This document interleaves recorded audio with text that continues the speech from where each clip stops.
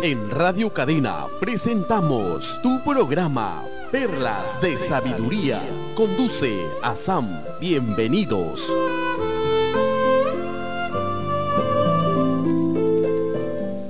Todos es un gusto estar con ustedes. Siempre es una alegría poder compartir eh, novedades y cosas que uno sabe, temas que uno sabe que les puede interesar y les puede ayudar en mejoramiento de la vida en nivel individual y también en nivel social, ¿no? Porque todos tenemos deseo de vivir bien, en paz, tranquilidad y también contribuir para construir un mundo mejor para nuestros hijos, nuestros nietos y las generaciones por venir. Bueno, aquí, como conocen, este programa, Pelas de Sabiduría, es un programa de la comunidad Bahá'í de Seneguía. Es una comunidad eh, no muy grande de cantidad todavía, pero estamos con mucho, eh, mucho entusiasmo, mucho cariño.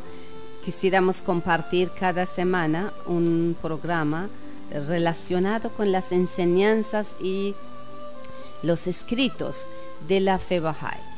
Eh, en muchos eh, programas han escuchado posiblemente que es la fe Bahá'í, pero siempre empezamos con ese tema que la fe Bahá'í es una religión independiente que nació en Irán en 1844. Eh, es de origen abrámico y así como las importantes religiones proviene del oriente. Recordemos que la religión de Abraham se inició en Irak, lo de Jesús era de Israel, Zoroastro era de Persia, y la fe Bahá'í, el propósito de la fe Bahá'í es la unión de todos los pueblos y razas en una causa universal, en una fe común. Bahá'í significa seguidor de Baha'u'llah, profeta fundador de la fe Bahá'í. Actualmente la fe Bahá'í está establecida en más de 235 países y territorios en el mundo, y sus seguidores provienen de diversas culturas, orígenes, credos y eh, condiciones sociales. Los, eh, escritos bajáis eh, han sido traducidos a muchas lenguas nativas también. La fe bahá'í llegó al Perú en octubre de 1941. La comunidad peruana está compuesta por individuos de todas partes de la sociedad peruana eh, tanto en ciudades como en grupos indígenas como quechuas, aymaras, acuarunas, etc. Entonces la fe Bahá'í en verdad es una religión nueva ¿no? dentro de la cadena de las religiones, es el más reciente, está tomando impulso, está tratando de eh, crear un ambiente más sano en nivel de familia, bueno, en nivel de individuo, primeramente después en nivel de las familias y en nivel de la sociedad. Así que todo lo que ha traído Bajaola y esa nueva religión nos lleva hacia construir una sociedad más pacífica, más justa para toda la humanidad. Bien, aquí doy bienvenido a mi amiga, compañera, miembro de la comunidad Bahá'í de Seneguía, Nancy Jaramillo. Bienvenida, Nancy. Muchas gracias, Sam. Eh, bueno, bienvenidos, este, queridos amigos, a este su, su programa Perras de Sabiduría. Encantada de estar con ustedes. Gracias, gracias por acompañar y siempre ser tan eh, tu no aportes y soporte tan maravillosa, tan importante, Nancy. Muy bien, este, ¿qué hemos traído hoy día para nuestros amigos, Nancy? A ver si tú anuncias. Ah, bueno, hay una una tabla escrita por Bajaola, ¿no? antes de dar este, el, nombre de este tema, quiero, em, bueno, citar lo, que dice Bajaola, eh, que dice, ¿no? Cada verso que ha revelado esta pluma es una puerta brillante y reluciente para descubrir las glorias de una vida santa y piadosa, de obras puras e inmaculadas Wow, una vida santa y piadosa. Sí. ¿Y qué más era? Y una de obras puras e inmaculadas. Así deberíamos vivir, ¿no? Eso es realmente lo que merecemos, ¿no? Vivir en ese estado de pureza, de santidad. Todos ya, los seres ya, ya, depende mucho de nosotros, ¿no? Claro. de, aceptarnos y de, estudiar y, ¿no? y, de, cambiar y, también practicarlo, muchas Y practicarlo, ¿no? Sí, en verdad que si nosotros, todos los seres humanos, podríamos poner un poquito de nuestra parte, estudiar y aprender y poner en práctica las enseñanzas de todas las religiones, no solamente estamos hablando de la fe Bahá'í, porque en todas las religiones las enseñanzas nos invitan a esa vida de santidad, de pureza, de excelencia, ¿no? Moralmente. Entonces, la, no necesitaríamos ni policía, ni ejércitos, ni nada, ni cárceles, nada realmente, ¿no? el problema es que nuestra parte moral ha quedado muy pequeño, muy chico todavía. Así es. ¿no? De ese tamaño de, crecimiento científico, tecnológico, el mundo, eh, una civilización tan maravillosa que estamos creciendo. No, no puedo decir hemos terminado de construir, pero estamos construyendo. Pero la parte espiritual ha quedado bien pequeño todavía. se está relegando, se está replegando, ¿no? y, bueno, todos avanzamos, pero nos estamos olvidando de esta parte tan importante. Esa parte. Sí, mira, ya que vamos, Nancy, ya anunciaste que vamos a compartir hoy día una de las tablas de Bajaola. Me gustaría explicar un poco a nuestros amigos qué significa tabla y qué diferencia tiene con oración, ¿no? ¿Te parece? porque, eh, porque nosotros no oramos, o se dice orar y recitar, o rezar se dice, ¿no? En cristianismo más se usa la palabra rezar.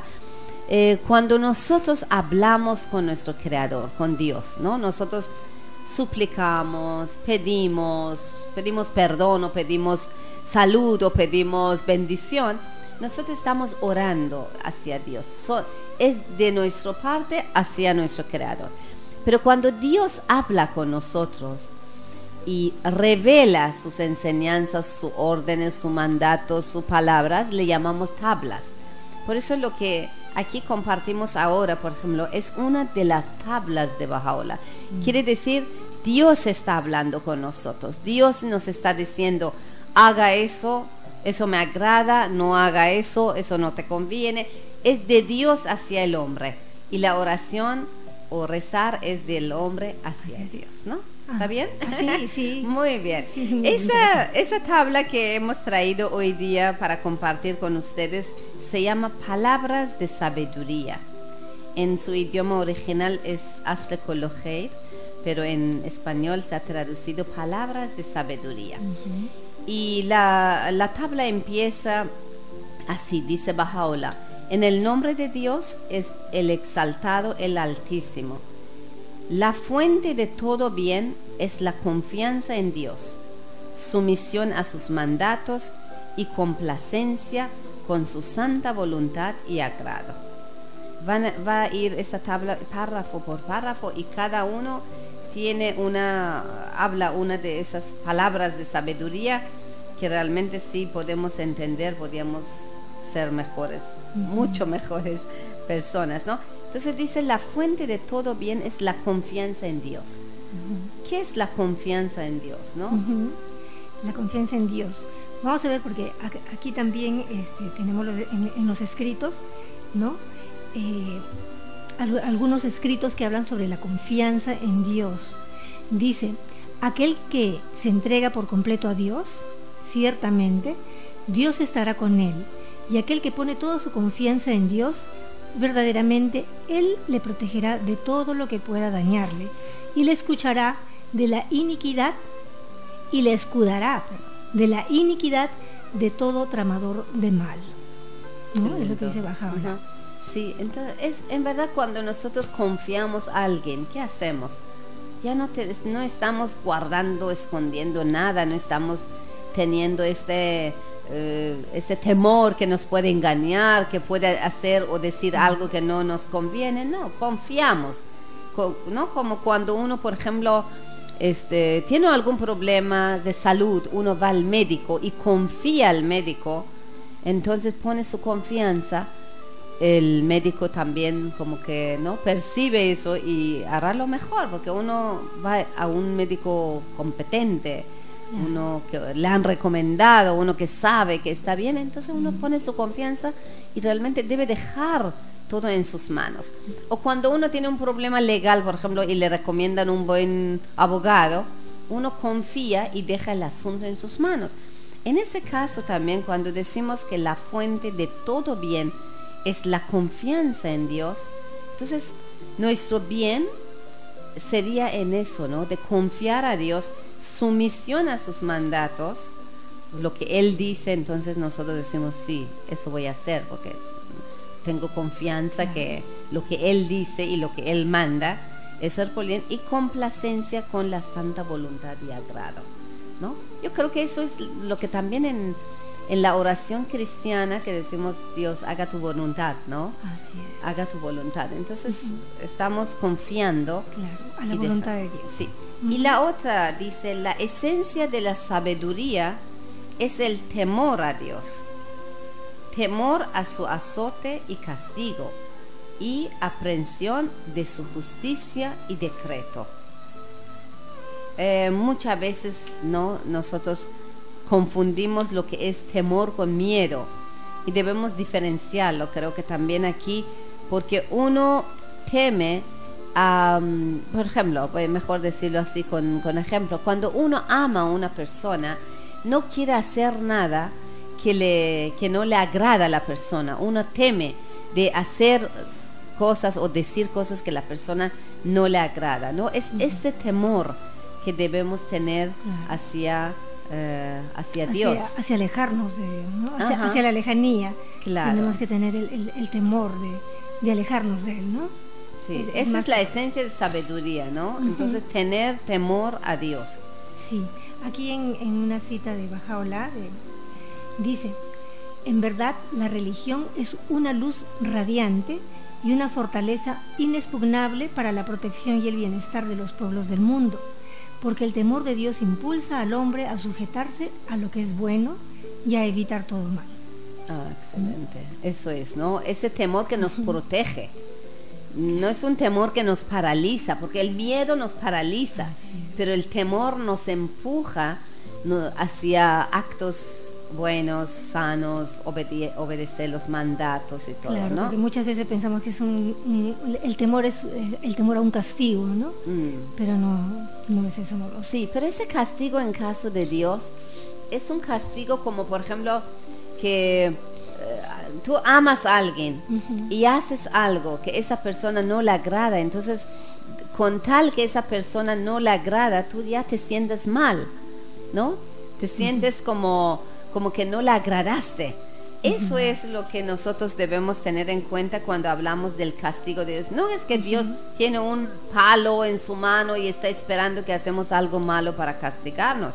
Dios nos ama. Somos sus criaturas, nos ha eh, creado, ¿no? Entonces, debemos tener temor de no agradarle, de, no obedecerle, porque también hay una cosa que hay que recordar, que todas las leyes y mandatos eh, divinos, eh, de enseñanzas divinas, es para protegernos y cuando no lo hacemos, no lo cumplimos, automáticamente seremos castigados como, como esa palabra castigado, como em, las consecuencias dañinas que, uno recibe por no obedecer. es. ¿no? Es como, por ejemplo, no comer bien, uno se va a desnutrir, desnutrir. O uno no respira, que es una ley también eh, impuesta a nuestra naturaleza física, y uno pues no, no está bien, ¿no? que no, no oxigenarse. No oxigenarse, o no duerme bien, uno no se sienta bien. También cuando no obedecemos leyes espirituales. Es, eso es el temor que debemos tener. Claro, el temor a, un Padre amoroso. Así es, así es. Muy bien.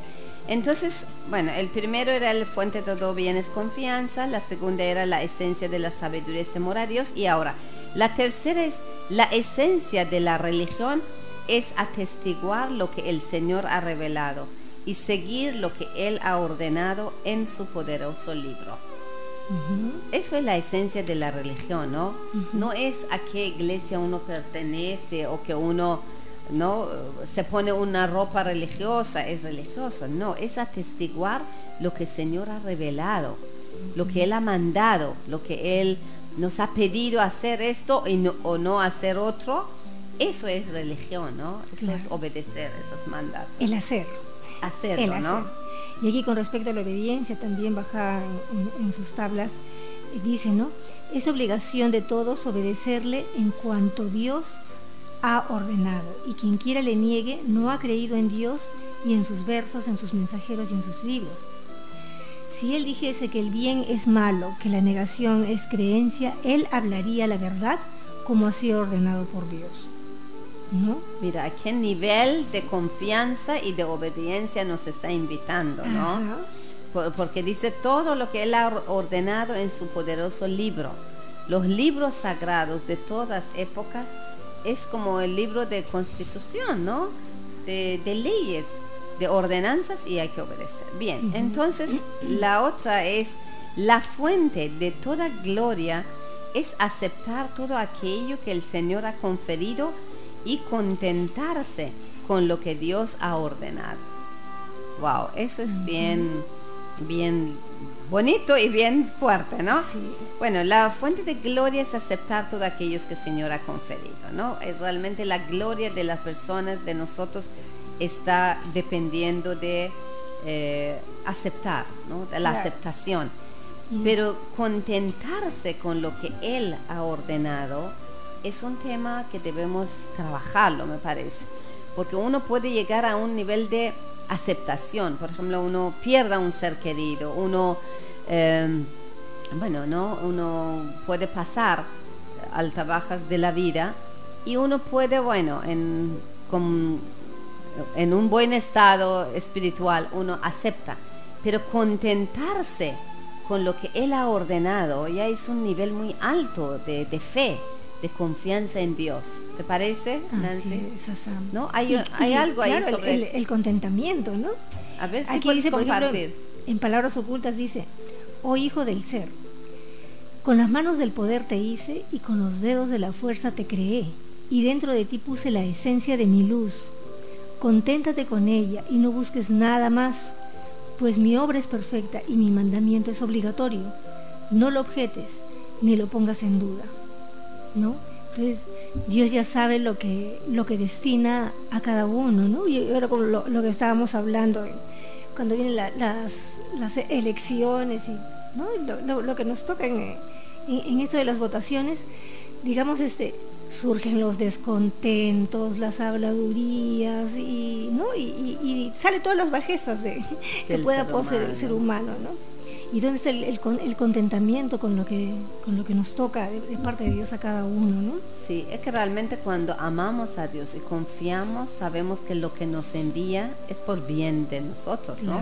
Es como el hijo, los hijos, los niños, eh, si quieren, por ejemplo, comer golosina en todo momento y la madre le dice no, no le da, o quiere hacer algo, algún travesura y la madre le dice no, ese no es realmente por amor, por protección del niño.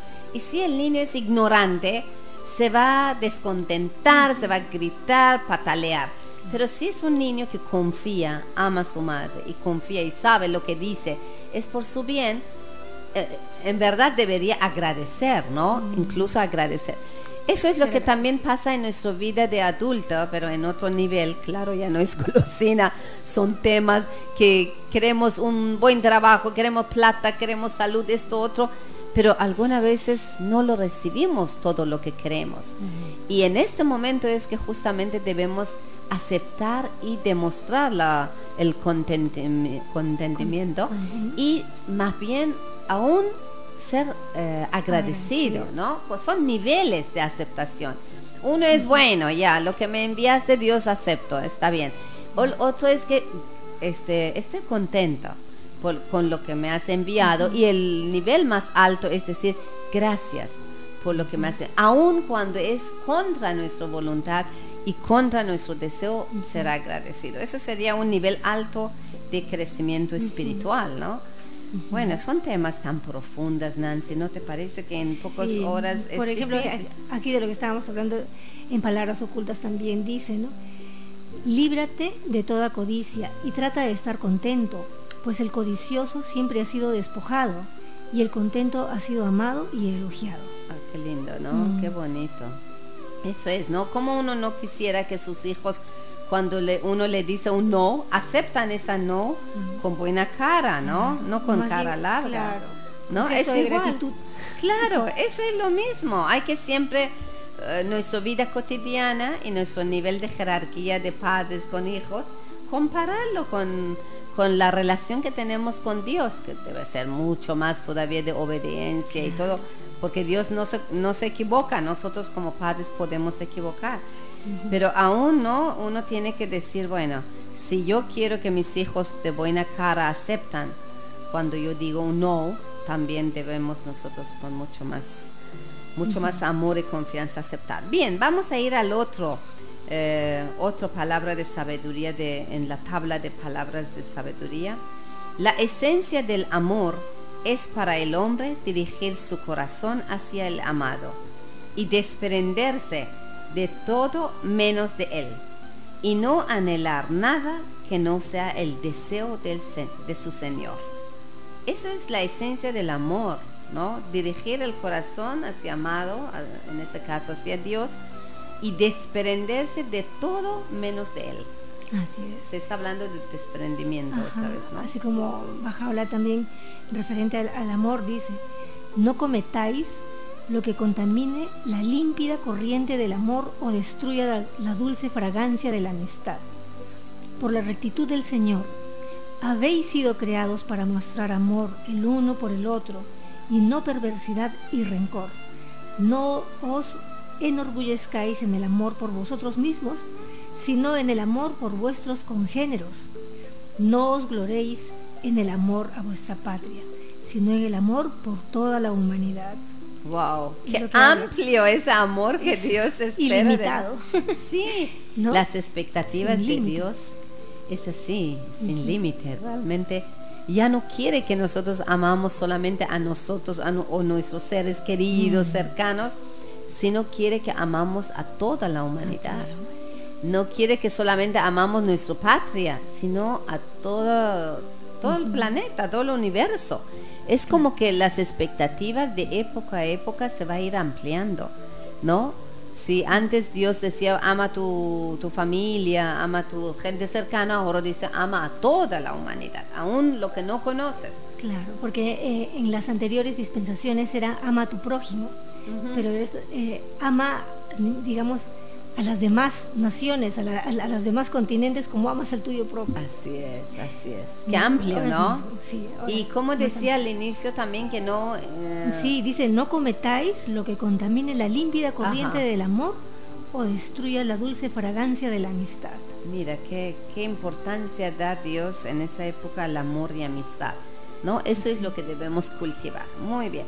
Vamos a ir al otro palabra sabiduría de Bajaola que dice, la verdadera eh, recordación es hacer mención del Señor, el todo alabado, y olvidar todo lo que no sea Él.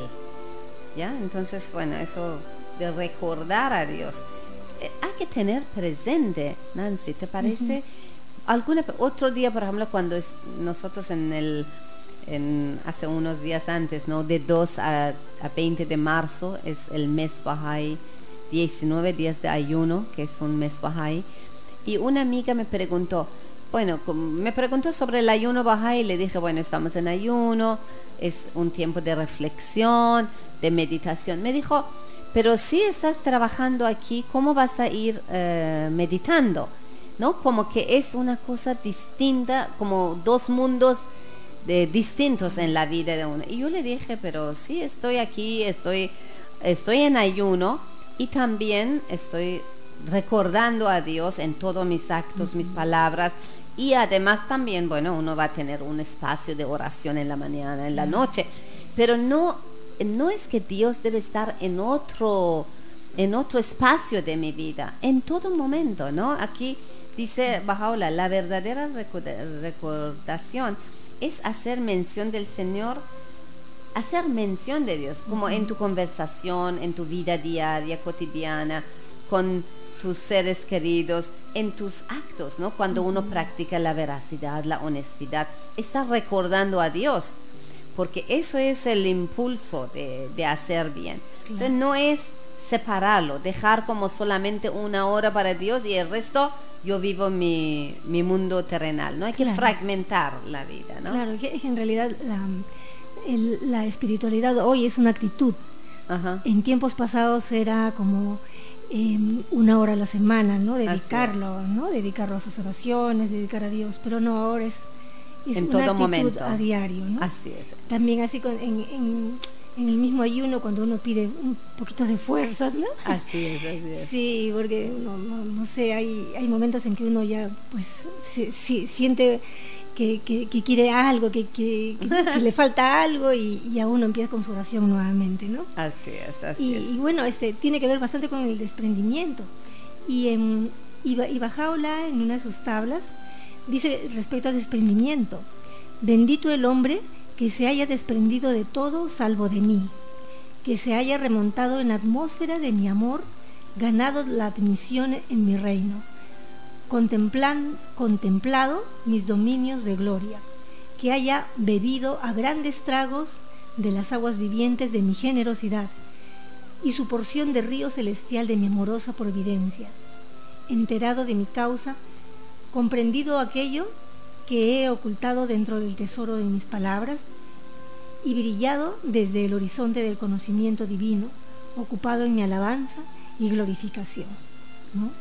¿no? Ocupado en, los asuntos de, Dios, Muy bien. La otra es, mira, seguimos con estas palabras de sabiduría. Ojalá que tengamos tiempo para terminar, porque son bellos, de verdad. Cada mm. uno necesita todo un programa aparte, mm. pero bueno, estamos mencionando.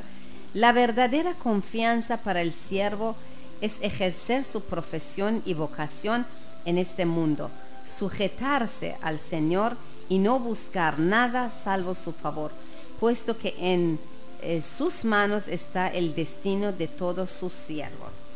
Mira qué interesante eso otra vez, confiar, eh, la verdadera confianza es eso, de ejercer la profesión y también eh, la vocación, porque cada ser humano fue creado con alguna vocación, algún misión, se puede decir, para mejoramiento del mundo.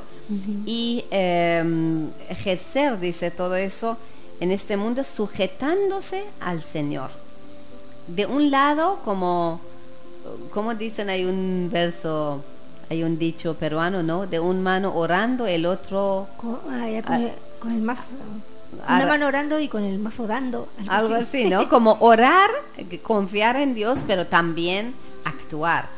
Dios no quiere que nosotros solo sentamos y oramos y oramos para que llegue el pan de día, no. Que a cada uno nos ha dotado de talentos, de, facultades, de capacidades. Ejercemos, pero confiamos a Dios porque dice, al final, mira, en sus manos está el destino de todos los siervos, de todos sus siervos. Así que, por ejemplo, si uno es artista, el otro tiene talentos para ser científico, el otro es educador, otro médico, pero aún ejerciendo nuestro, nuestras capacidades tenemos que confiar a Dios porque realmente nuestro destino está en sus manos. Bien amigos, aquí en radio entramos en un espacio comercial, pero regresamos con las palabras de sabiduría que es nuestro tema de esa semana. Amigos, continuamos con nuestro perlas de sabiduría de esta semana que hemos traído justamente una tabla de Bajaola que se llama Palabras de Sabiduría, ¿no? Exacto, encaja muy bien en nuestro programa de Perlas de Sabiduría. Bien, estamos aquí eh, compartiendo con ustedes lo que dice Bajaola, qué es la fuente de todo bien, qué es la esencia de la sabiduría, qué es la esencia de religión, qué es la fuente de toda gloria, la esencia del amor, la verdadera eh, recordación y eh, ahora vamos a ver la, la, otra que es la verdadera confianza para el siervo. No, eso también hemos compartido, es ejercer su profesión. La esencia del desprendimiento es para el hombre dirigir su rostro hacia las cortes del Señor, entrar en su presencia, contemplar su semblante y presentar testimonios ante Él. Eso es desprendimiento, ¿no? Realmente como vivir en esta vida, pero no pertenecer a esta vida, que es distinto, ¿no?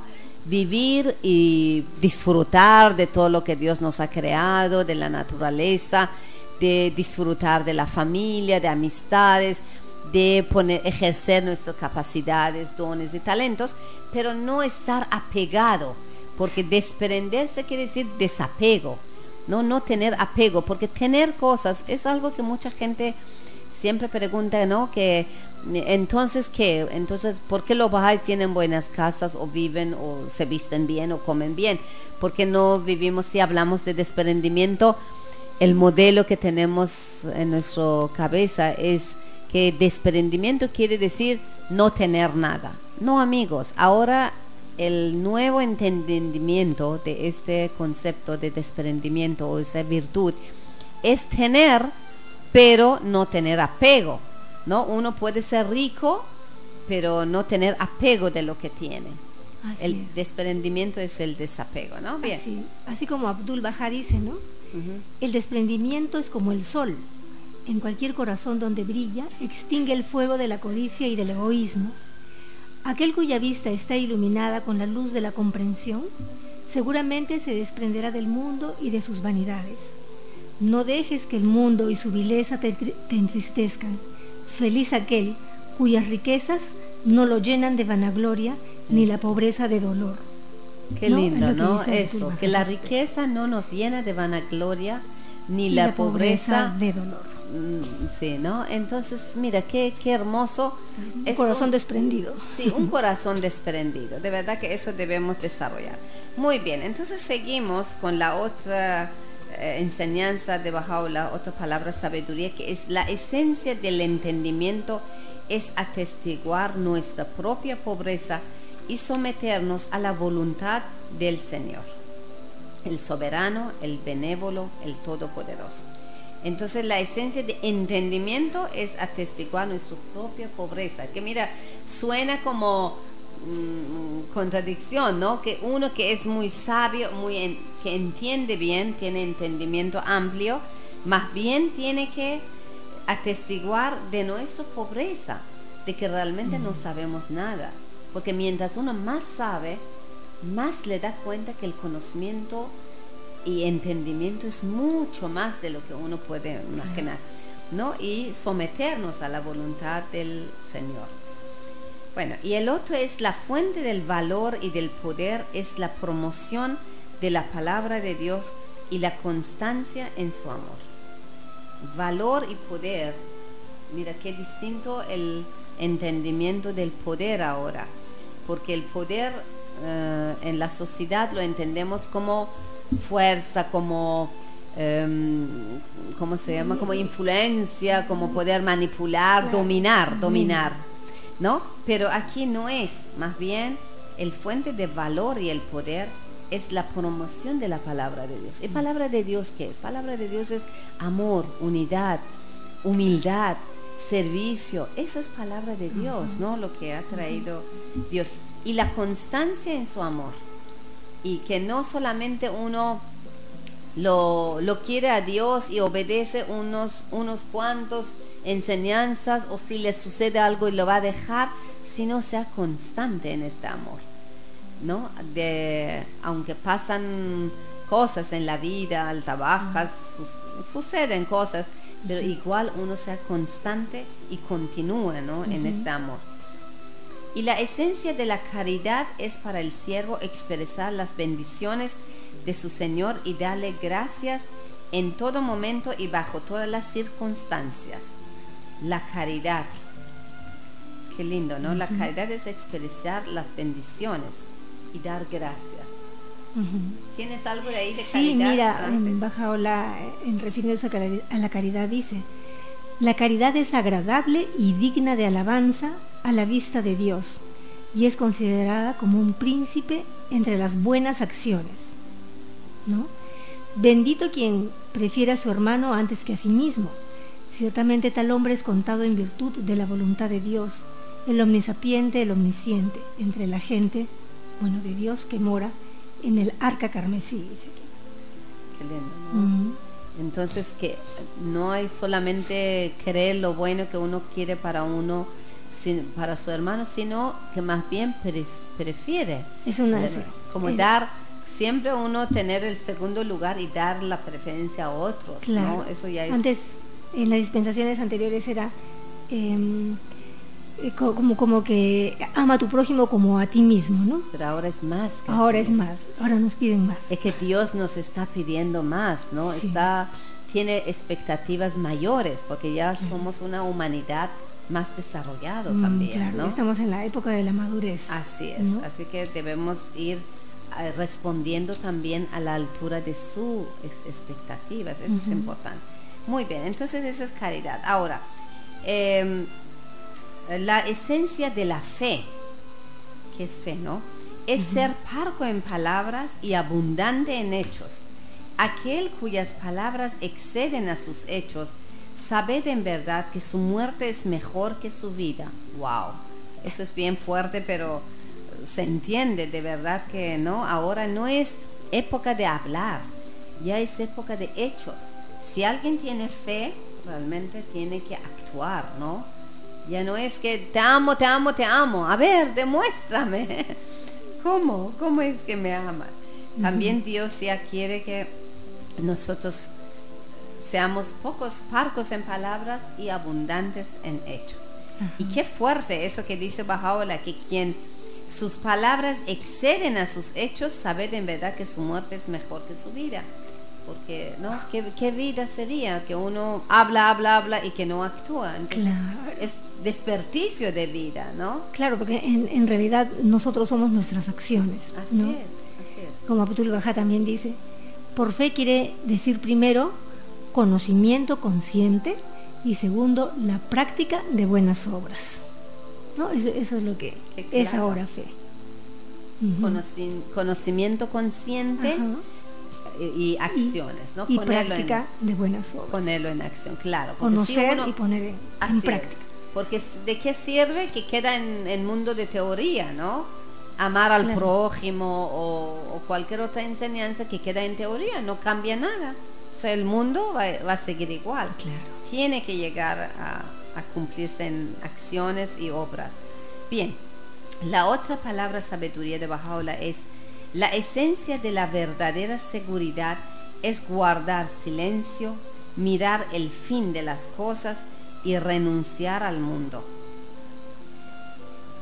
La esencia de verdadera seguridad es guardar silencio, mirar el fin de las cosas y renunciar al mundo, ¿no? Es como desprendimiento y la visión. Yo creo que ahí Bajaola habla de la visión, de que cuando uno empieza algo, mira hasta el final.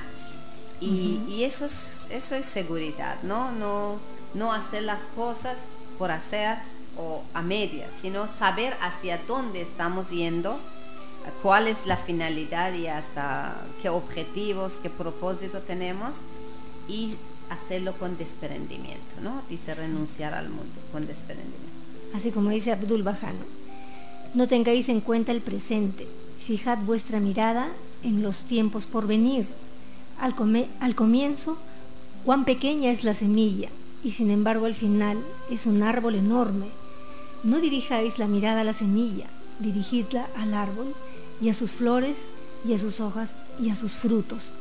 Dice, eh, eh, ¿no? Este, Abdul Baha en hermoso. su sabiduría. Eso es, eso es, eso es. Ahora, la otra de palabra sabiduría de Bajaola es la magnanimidad comienza cuando el hombre gasta su fortuna en sí mismo, en su familia y en los pobres entre los hermanos de su fe. ¿No? Es, eh, para que seamos magnos, magnanimidad, como dice, empieza cuando uno gana su por medio de su oficio, por medio de su eh, de, Labor. su, de su Ujú. labor, ¿no? Un trabajo honesto y eso lo gasta en sí mismo por desarrollo, crecimiento, educación, capacidad, capacitación, alimento, todo, ¿no? El bienestar de uno mismo, bienestar de su familia y después en los pobres. Como que el círculo, mira, empieza siempre con uno Con mismo, uno. ¿no? Pero no se queda ahí, porque si queda ahí es muy pobre, Claro. es muy egoísta. Sí. Tiene que ir ampliando, ampliando, ampliando, ¿no? Entonces de ahí viene la familia, como es un orden prioritario, ¿no? Y después de la familia vienen también gastarlo en los pobres. Nunca debemos olvidar de eso, ¿no? Hay gente siempre que tiene de repente, por es su destino o, o por algunas razones en esta vida, necesitan más y, y hay que estar presente también para Mm. ellos. Muy bien. La esencia de la riqueza es el amor por mí. Aquel que me ama es el poseedor de todas las cosas y que aquel que no me ama es en verdad de los pobres e indi- indi- eh, indi- indi- ¿cómo es? indigentes, indigentes, perdón, pobres e indigentes. Esto es lo que el dedo de gloria y esplendor ha revelado. Ay, disculpen que mi español todavía es pobre. bueno, la esencia de la riqueza es el amor por mí. Entonces, la riqueza más grande que puede poseer un ser humano es amar a Dios, ¿no? Amar a Dios. Cuando uno ama a Dios, como que tiene un, em, un fuente de motivación, uno tiene confianza, uno sabe, tiene esperanza y entonces este, la cosa anda bien, ¿no? Y dice, aquel que me ama es pos- poseedor de todas las cosas y aquel que no me ama en verdad es pobre, pobre e Claro. indigentes. ¿no? Entonces mira que la riqueza en verdad no se mide con cuánto tenemos en, la, en el banco, sino con cuánto amor tenemos hacia Dios. Ah, Porque hay gente que tiene riqueza, como hay ese dicho famoso que dice, hay tantos pobres en la vida que lo único que tienen es su plata, su dinero. Entonces no, no siempre el dinero es el signo de, de riqueza. La riqueza, la verdadera riqueza, es amor a Dios. Es estar conectado con esta fuente de vida, con esta fuente de, de todo bien. Bien, y la, la fuente de toda maldad para el hombre es alejarse de su Señor y dedicar su corazón a las cosas profanas.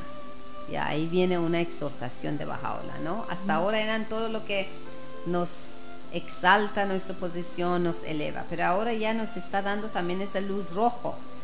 ¿Cuál es la fuente de, la, de toda maldad? Dice Bajaola, la fuente de toda maldad para el hombre es alejarse de, de su Señor, alejarse de Dios y dedicar su corazón a las cosas profanas. ¿Cómo tú interpretarías eso, dedicarse su corazón a las cosas profanas? Mm. Bueno, este, me, me parece que más, ya más eh, dedicarse a la parte, eh, al alimentar la- lo, lo material, ¿no? El Nuestro, ego, claro. Superficial. la superficialidad. Porque ¿no? sabemos que eso es muy pasajero, ¿no? Claro. Al final no, aunque tengas mucha riqueza material o fama, belleza, no sé, poder, lo que son de este mundo, al final uno tiene que dejar ir. Es pasajero. Es muy pasajero. ¿no? Entonces realmente eso es fuente de maldad para nosotros, no nos conviene. Uno cree que la felicidad este, es, es eso, no tener, Sí. no sé, co- cosas este, de, de marca o cosas caras, ¿no? Sí. Pero no, pues la felicidad es instantánea, te lo roban y ya. Así es tan, no, es tan pasajero que al Sí. final, aunque te has dedicado tu corazón a eso, tu pensamiento, tu vida, has dedicado, tienes que dejar ir, no, no te hace mejor persona. Bueno, el otro es, el fuego más ardiente es cuestionar los signos de Dios. Dice, eh, disentir ocasio- eh, ocas- o- ociosamente, ociosamente con lo que Él ha revelado, negarle y mostrarse orgullo frente a Él. Wow, Oh. Eso es muy fuerte, ¿no? Como cuestionar a los enviados de. Dios, a los profetas, a las manifestaciones de Dios, ¿no? Y, y aunque no creamos a Sam, hay muchas personas, ¿no? Sí, Conozco sí. muchas personas que hablan así, Sí, ¿no? ¿no? Y son ellos signos de Dios, dice Bajaola. El fuego más ardiente es cuestionar los signos de Dios, porque ellos son signos de Dios. Jesucristo, Moisés, Mohammed, Zoroastro, Buda, Claro. Krishna, el Bab, Bajaola, Abraham, ellos son signos de Dios. Claro. son signos este, bastante directos, ¿no? Porque digamos, signos de Dios los encontramos en, en, nuestra vida diaria, en el todo, ¿no? Como hay esa, esa historia del pececito que estaba nadando por el mar, ¿no? Estaba nadando por nada y llega un, se aparece un tiburón y le dice que le pregunta dónde vas y el pececito le dice pues voy a buscar el océano. pero el, el, tiburón dice pero estás en el océano, ¿no? Y no le da cuenta. Somos, es la ignorancia. Hay muchos pececitos así. Ah, hay muchos ahora vivimos, en el mundo. Claro, vivimos en Dios y no nos damos cuenta. Y no le damos cuenta, lo negamos, ¿no? Qué bonito el, lo que contaste. Sí, pues por eso dice, ¿no? Eh, disentir ociosamente con lo que Él ha revelado, negarle y mostrarle orgullo frente a Él. Ahora la gente todo cuestionan y se mm. alejan de las religiones, juzgándolo por hecho de la gente seguidores, ¿no? que sean este, que sean como personas encargados de, llevar adelante una religión o no, pero igual lo juzgan. Tienen que realmente volverse a los libros sagrados y eh, no negar o cuestionar, sino estudiar y tratar de entender cuál es la sabiduría de las palabras de Dios. Bien, la fuente de toda eh, erudición es el conocimiento de Dios. Exaltada sea su gloria y ello no puede ser alcanzado sino por el conocimiento de su divina manifestación. ¿no? La, las personas más sabias, más eruditos en la tierra, en verdad, son quienes conocen a Dios y como a Dios directamente no podemos llegar a conocer y llegar a él es como querer entrar al sol para saber qué es el sol, ¿no? Sino a través de los rayos de su luz conocemos. También a Dios hay que conocerlo por medio de sus enviados y quien conoce está como conectado con este mundo de conocimiento. Es, eso es verdadera er, erudición. ¿no? Bien, y la esencia de la bajeza es abandonar el amparo del misericordioso y buscar el abrigo del malvado. Ay, qué feo eso, ¿no? Qué fuerte. Esa es la bajeza, ¿no? Dejar a Dios, el fuente de todo conocimiento, de todo bien. De toda riqueza. De toda riqueza, verdaderamente. Y ir, eh, dice, abandonar el amparo de mis y buscar el abrigo del malvado. Ya malvado será que el mm. ego, lo, lo, todo lo superficial. ¿Qué será? Lo, materialista, ¿no? Sería, ¿sabes qué me parece? Como que el sol está brillando, pero tú cierras todas tus ventanas con mm. cortinas oscuras y prendes una velita, ¿no? Querer iluminar tu luz, tu, tu día con algo, pues, ¿no? Que, que no va a durar tampoco.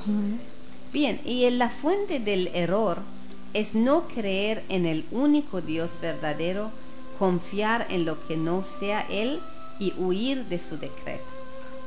Eso es un error, porque estamos aquí, el primer propósito de la vida, Bajaola dice, es para conocer a Dios y adorar a Dios.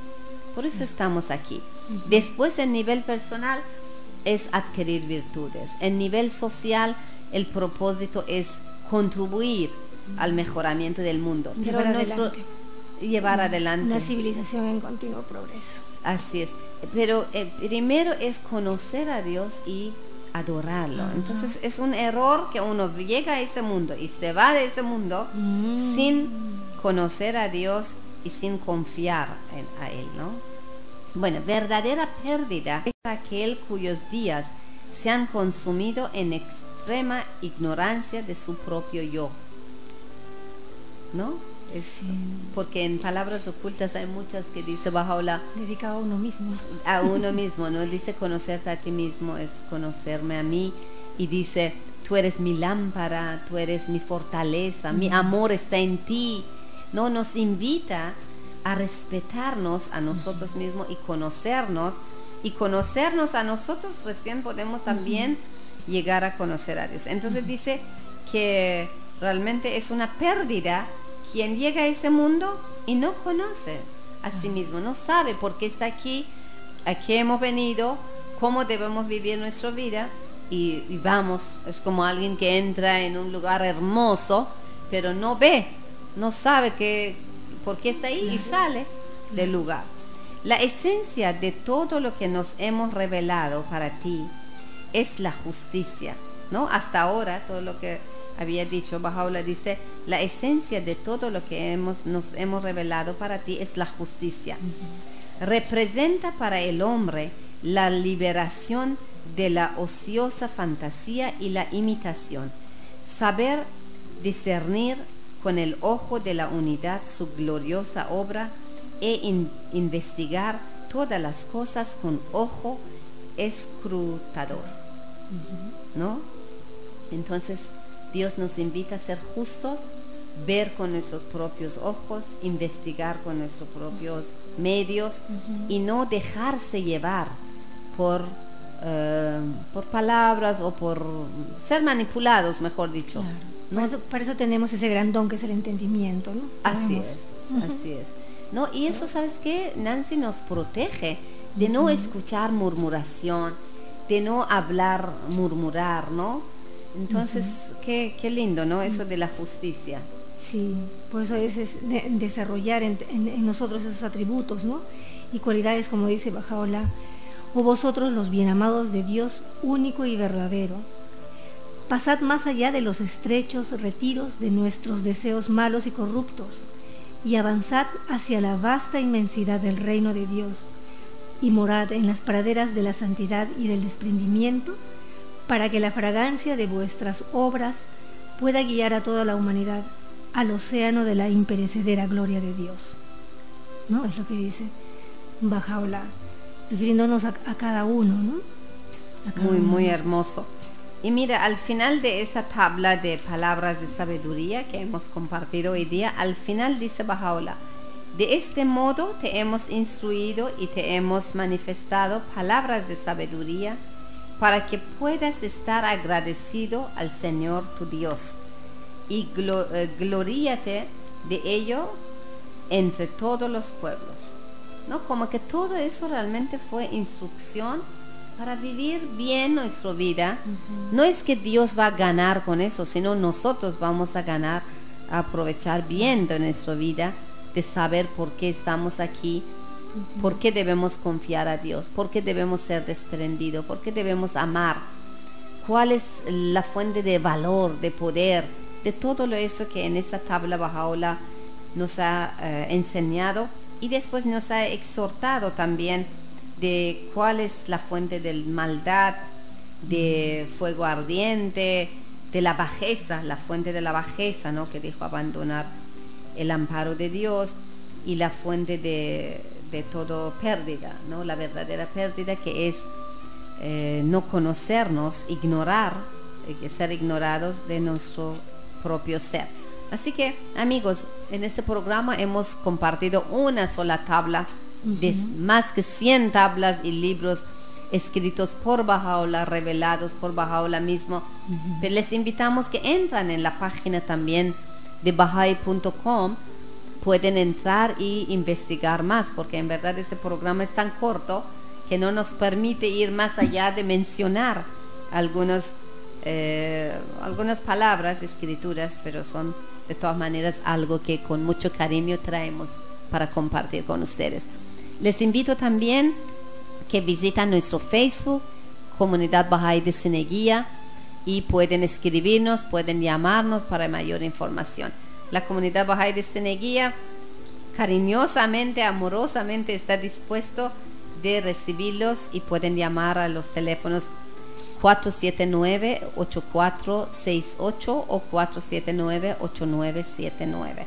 Estaremos en su disposición. Muchas gracias, Nancita, por acompañarnos. Gracias, gracias a Sam. Gracias, queridos amigos. Por, ah,